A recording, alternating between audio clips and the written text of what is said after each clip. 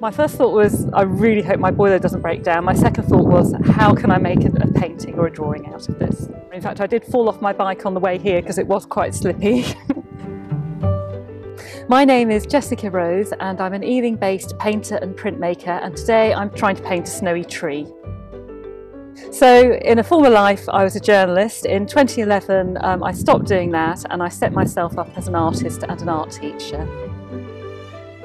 I'm really inspired by natural forms and uh, as you can see I've got my bike here today. I cycle all around Ealing and other parts of London with my easel strapped to the bike and I stop where I find inspiration. Today I found a really oddly shaped tree which is inspiring me particularly as it's lovely and covered in snow as well. Got a lovely fairy dusting of white powder on it.